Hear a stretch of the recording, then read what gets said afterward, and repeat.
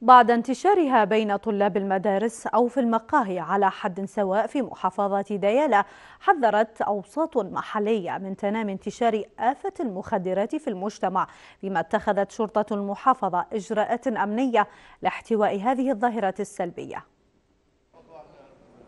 ناقوس خطر المخدرات بين متاجرة وتعاطي يدق بأعلى صوته في محافظة ديالا.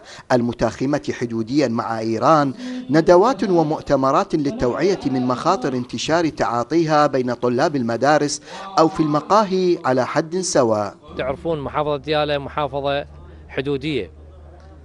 لها حدود مع آه، دول مجاورة.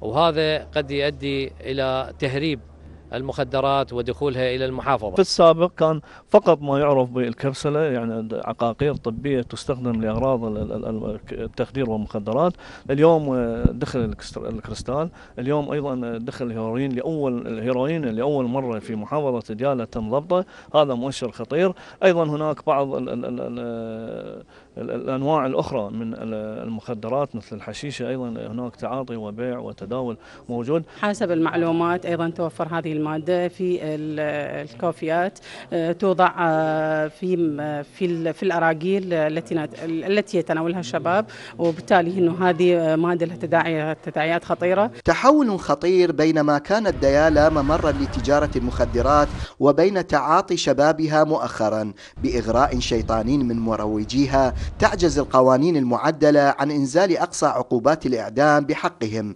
لينتهي الحكم بغرامات مالية. يعني مو معقول اليوم التاجر اللي يقتل بشر كامل محافظة كاملة قد يقتلها بكيلو من الهيروين أو المواد الأخرى من المخدرة الكريستال أو غيرها اللي انتشرت مع الأسف في في الطبقات الطلاب وإلى عمر الأربعين. هذه المادة المفروض الحكم مالها إعدام مباشر. يجب أن يشدد قانون العقوبات أخي بهالخصوص. مو معقولة تاجر يدفع 30 مليون وهو هو هو موزع ويخرج بغرامة.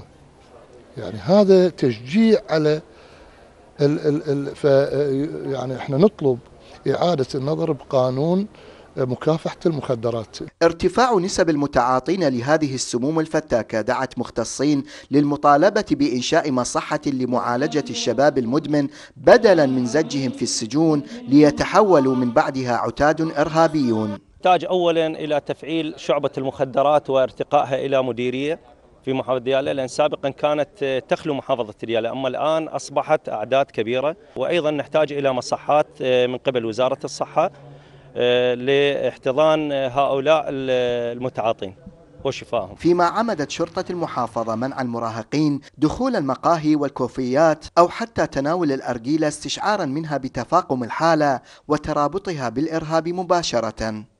أحمد الرسام قناة الرشيد ديالا